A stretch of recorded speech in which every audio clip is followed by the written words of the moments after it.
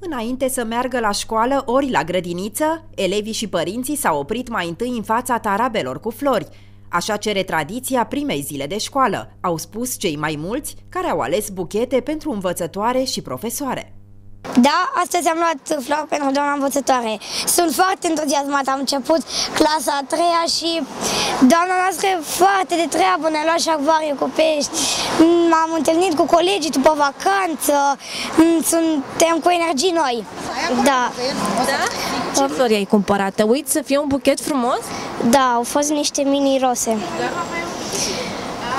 Și cum a fost în prima zi de școală? În prima zi de școală a fost foarte frumos pentru că ne-am întâlnit cu toți colegii.